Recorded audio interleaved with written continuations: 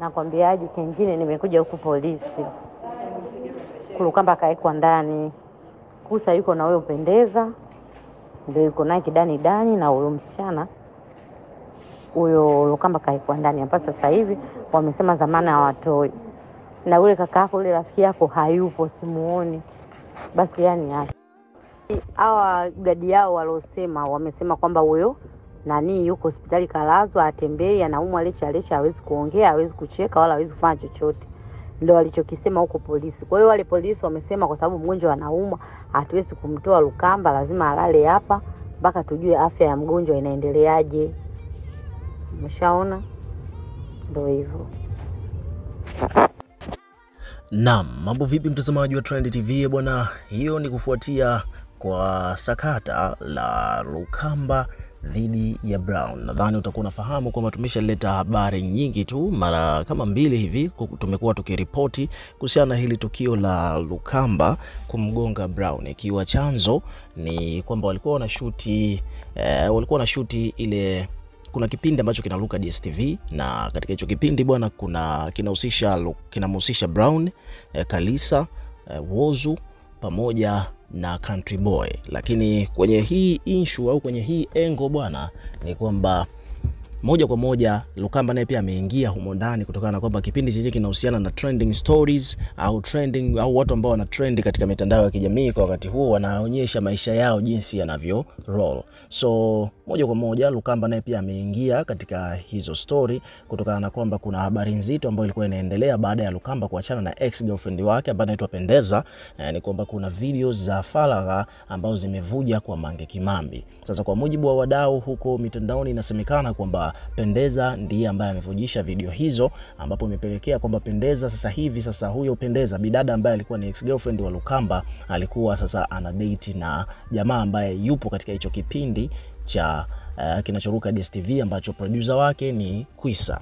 Naelewa Kwisa mzee mkavu, yule jamaa ambaye uh, yule jamaa ambaye alikuwaga na Sudi Brown au yupo katika ICU, lakini pia vilevile tulikuwa tunamwonaga na Sudi Brown kipindi kile cha Shilawadu. Sasa jambo ambalo limetokea bwana ni kwamba Kwisa eh, alitaka kuwakutanisha hawa kwa sababu nafahamu kwamba inaeleweka kama nilivyokuelezea kwamba eh, Brown ana date na ex wa Lukamba ambaye anaitwa Pendeza, alafu Lukamba naye pia amewekwa kwenye kipindi hivyo. Basi Kwisa ikabidi alitaka kuwakutanisha Lukamba na ex wake ambaye sasa hivi ana date na Brown ambaye yupo katika hicho kipindi tokea mwanzo.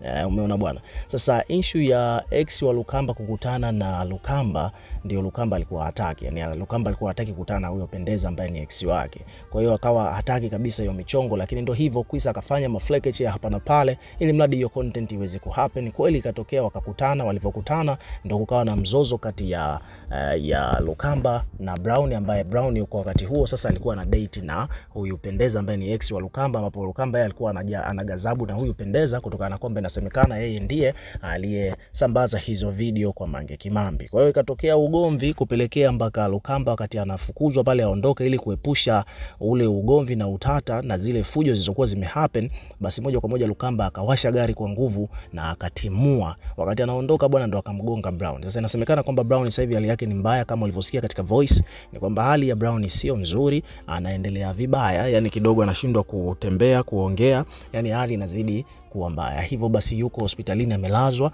Basi moja kwa moja tukawa tunamwona Lukamba akiwa anaendelea kutamba mitandaoni, tukawa tunaona video zikiwa zinasambaa, lakini tokea siku ya jana eh, ni kwamba Lukamba inasemekana kwamba amekamatwa. Eh, sasa sheria ameanza kuchukuliwa hatua za kisheria kwa kama consequences za matendo ambayo ameyafanya ya kusababisha majeraha kwa Brown, yani kwa kumgonga na gari. So hivyo ndivyo mambo yalivyo. Kwa sasa Kwisa naye pia anahusika katika hii issue kwa sababu yeye ndo producer wa hii show. Yani hawa haya, ili tukio lilitokea wakiwa hawa watu wakiwa katika production ya hicho kipindi.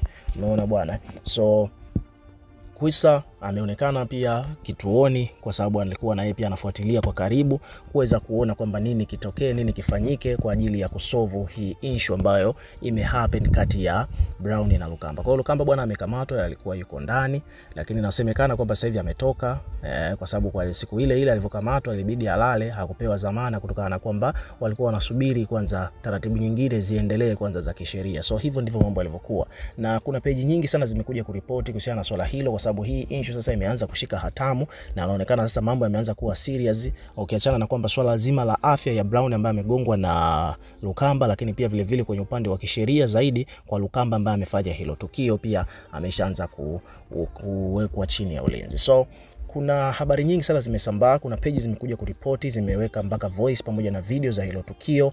Na kwa mfano hapa bwana, kuna peji hapa wamekuja wameandika kwamba bwana, kesi ya Lukamba ni jela, ni jela kuanzia miaka mitano na zaidi. Yani kwa mujibu wa wadau ambao wanafahamu mambo ya sheria, kwa kitu ambacho amekifanya Lukamba kumgonga mtu. Sasa hatujajua sasa kwamba alimgonga makusudi au bahati mbaya, lakini kwa kesi kama hiyo eh, kisheria zaidi ni kwamba inaweza ikamkosti Lukamba akafungwa kwa muda wa miaka mitano au zaidi. Kwa hiyo ni kesi mbaya, unaelewa eh? Ni kesi mbaya, ni kesi ambayo iko very serious. Umeona bwana. Kwa hiyo hivyo ndivyo mambo yalivyo. Kuna mtu amesema bwana, naombeni mniitie wataalamu wa sheria mje tutuzungumze kitendo cha kumgonga mtu na gari e, mkiwa katika swala la ugomvi, adhabu yake ni nini? Haya, kuna peji nyingine hapa amekuja ameripoti pia, amesema kwamba Lukamba amekamatwa na yuko polisi ndani kwa mako, na amekosa dhamana baada ya kumgonga Brown. Wakaelezea hapa chini katika caption kwamba kwa mujibu wa Mbea mmojawapo huko mitandaoni anasema kuwa Lukamba amekamatwa na polisi eh, tokea siku ya jana, tokea siku ya juzi na yupo ndani eh, anaambiwa kwamba hakuna hata ndugu yake hata mmoja ambaye anaweza ana, anakosa dhamana. Leo atalala ndani, hakuna hata ndugu yake mmoja ambaye amekwenda kumtolea dhamana. Okay, yani hakuna ndugu wa kujitokeza kwenda kumtolea dhamana. Kwa hivyo basi, moja kwa moja imebidi jamaa alale. Haya, okay, kuna peji nyingine hapa ya Juma Lokole, naye pia ameposti, ameandika tu hapa, Mungu wangu bwana, naona wamefikia huku jamani. Sasa naona mpaka Juma Lokole naye pia ameshaanza kuona kwamba hii issue iko very serious eh, bwana. Okay, page nyingine hapa wamekuja wameandika kwamba Lukamba amekamatwa yuko ndani. Umeona? Kwa hiyo kuna page kadhaa hapa zimekuja kuripoti kuhusiana na hiyo issue. Umeona bwana, lakini pia vile vile ni kwamba inasemekana kwamba Lukamba ame, amepata dhamana kwa sababu alikamatwa juzi, amelala akaamka jana, na inasemekana leo ametoka. Jana ile ile kuna majira ya kuna majira alipata dhamana akatoka na akaposti video bwana kupitia ukurasa wake wa Instagram akiwa na promoti nyimbo yake inaitwa Jenga Uza. Umeona bwana eh. Kwa hiyo bwana Lukamba ametoka, lakini akawa anaonyesha vibunda vya manoti elfu kumi elfu kumi. Nadhani sasa tujajua kwamba ni baada ya kulipiwa dhamana ameonyesha hivyo vibunda. Sasa tujajua kwamba yuko tayari kulipa kumlipa Brown ili kesi iishe, kama akitaka kulipwa fidia au vipi, lakini ameonyesha kama vile eh, mambo safi, ametoka yuko uraiani na ana pesa ameonyesha hivyo kutokana na hii video inaonekana akiwa ana vichanga vibunda vya pesa akiwa amezishika. So hivyo ndivyo mambo yalivyo. Sasa ngoja kwanza tucheki kuhusiana na hili swala, wadau wanazungumzaje kwanza kwenye upande wa kisheria zaidi. Umeona, moja kati ya vitu ambavyo tungependa sana kuvifahamu ni kuhusiana na issue ya sheria. Kuna mtu kuna mtu hapa amekuja amecomment amesema kwamba bwana, sheria gani sasa hapo? We uone alichofanya hapo. E, kwa mtu mwingine hapa kuna mtu mwingine hapa amekuja amecomment ameandika kwamba bwana eh, kama Lukamba eh, alivamiwa basi alikuwa anajihami. Umeona eh? Kuna wadau wamekuja kuandika hivyo. Huyu anaitwa Emwa Kanjuki amekuja kuandika hivyo kwamba iwapo kama Lukamba alivamiwa alafu akamgonga mtu kwa bahati mbaya, ina maana kwamba alikuwa anajihami. Kwa kuna tofauti. Kama hakuwa kwenye hizo circumstances, it means kwamba kuna tofauti vile vile kwenye upande wa hukumu kisheria. Kwa hiyo kama walimvamia kama vile wataka kumshambulia akawagonga akamgonga mtu, hiyo alikuwa anajihami. Okay, kuna mtu mwingine anasema kwamba bwana wana wanataka kutoa ngoma ya pamoja, hizo ni kiki tu hapa Bongo bwana, huwezi kufanya jambo mpaka hunye. Ameandika hivyo. Kwa mdogo wangu, anasema bwana, Swaumu Swaumu kuimaliza eh, Lumande ni mzozo. Kuna mtu ameandika hivyo. Kuna mtu mwingine amesema bwana, hii ni mbwa kala mbwa, ngoja tuone kitu kitatokea, nini kitatokea. Kwa mdogo mwingine kiukweli, hapo amesema kwamba bwana, hapo iko wazi, yaani hapo sheria iko wazi. E, Lukamba alivamiwa, kwa hiyo alikuwa anajihami. Hao walikuja kikundi kwa ajili ya mtu mmoja, hilo ni kosa.